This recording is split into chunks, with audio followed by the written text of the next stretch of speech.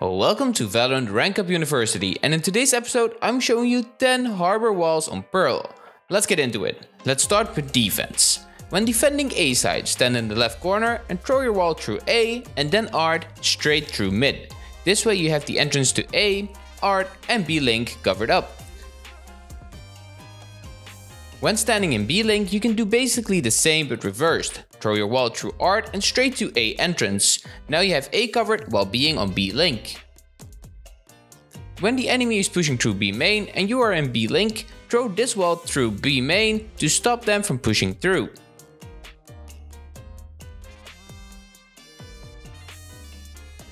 If you are defending B, go to B heaven and throw the wall through B link and B main.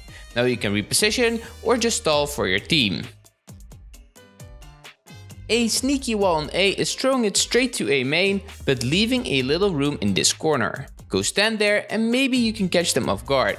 Use this once per game, not more. If you want to control mid while defending, throw this wall from art to mid shops. You can push for mid fairly safe. On to attack. While pushing B, cast the wall through the building over B side heaven and backside. Now you have the time and space to push for site. A sneaky wall on B if you want to get control over B backside. Wall the side, but curve it to the right so you can cover the entrance over the backside as well. If you're split pushing A, control the middle and stand in this corner. From here you can cover your team on A side from Flowers and Link.